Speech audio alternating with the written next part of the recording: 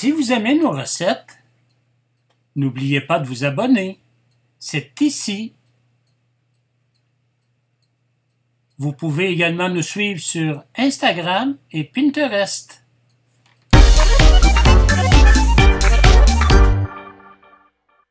Aujourd'hui, nous allons faire un gâteau renversé à l'ananas d'André, version facile. Pour les ingrédients, il va nous falloir 2 tasses de farine tout usage, 2 œufs, température de la pièce, une cuillerée à thé de poudre à pâte, une cuillerée à thé de vanille liquide, une demi-cuillerée à thé de sel, une tasse de lait, une demi-tasse de beurre mou, 3 quarts de tasse de sucre à glacer. Maintenant, les ingrédients pour la garniture.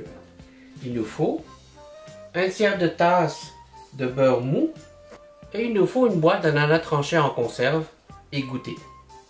Et environ une quinzaine de cerises euh, marasquin. Alors, technique numéro 1. Ma farine, je l'ai déjà dans un cul de poule. Donc, on va mélanger la farine avec le poudre à pâte et le sel tout simplement. Et je vais le réserver. Dans le bol de mon mélangeur électrique, j'ai mis le beurre mou je vais en fait le monter en crème. On va commencer par ça.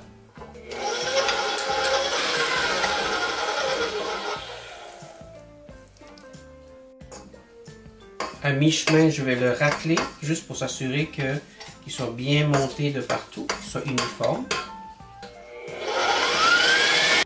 J'ai déposé la poudre à pâte dans le beurre. Je vais l'incorporer en fouettant bien. Tout en fouettant, je vais ajouter les œufs un à la fois.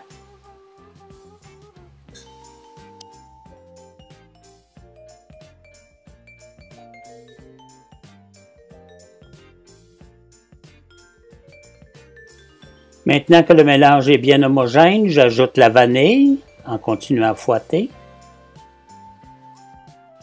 J'incorpore maintenant le mélange de farine, une cuillère à la fois. Et par la suite, je vais ajouter aussi euh, un peu de lait en alternant farine et lait. Il faut s'assurer qu'à la fin, que ce soit bien mélangé et surtout sans grumeaux. Maintenant, c'est le temps de euh, mettre le mélange de gâteau et de faire le montage de notre gâteau pour l'envoyer au four. Alors, ça va nous prendre une petite euh, de gâteau.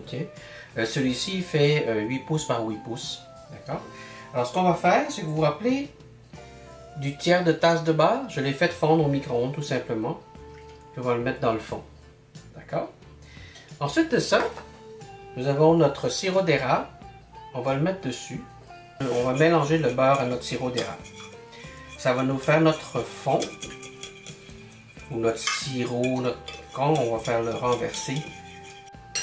Une fois que c'est fait, on va pouvoir aller enligner notre, nos tranches d'ananas.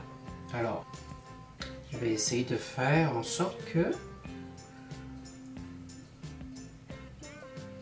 nos tranches vont rentrer. S'ils ne rentrent pas, on peut toujours couper. Et ensuite, on va faire un genre de mélange de puzzle. Maintenant, on va aller déposer nos cerises.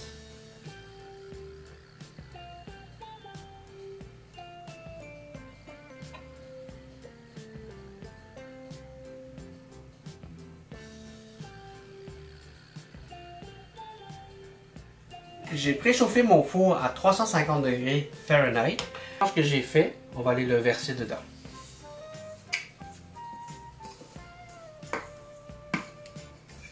chose très important, c'est d'aller l'étaler pour qu'il soit le plus uniforme possible, qu'il soit à plat. Comme ça, ça va aussi en même temps retenir nos tranches d'ananas et nos cerises également.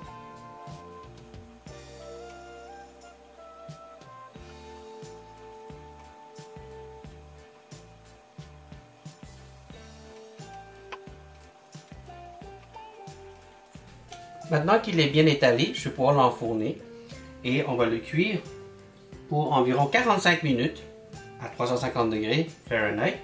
Et je dirais autour de 40 minutes, on va aller faire le test du cure-dent. à partir de 40 minutes. La cuisson est parfaite. Une belle croûte sur le dessus, en fait qui va être en dessous finalement. On va laisser reposer au moins une heure pour le refroidissement, puis on va pouvoir le retourner. À tout de suite. Ça fait à peu près une heure qu'il a refroidi. Alors je l'ai retourné, le renverser. Alors ça devient le renverser à l'ananas. Et maintenant, on va pouvoir le déguster. Alors, comme vous pouvez voir, elle a vraiment pris la forme de mon moule. Et ça sent très bon. Ça sent le sirop d'érable, en tout cas. Alors, on va le goûter. Alors, maintenant que je me suis coupé un petit morceau, je vais le napper de, du jus de cuisson. Ou vous pouvez aussi servir ça avec un peu de sirop d'érable qui serait très très bon aussi.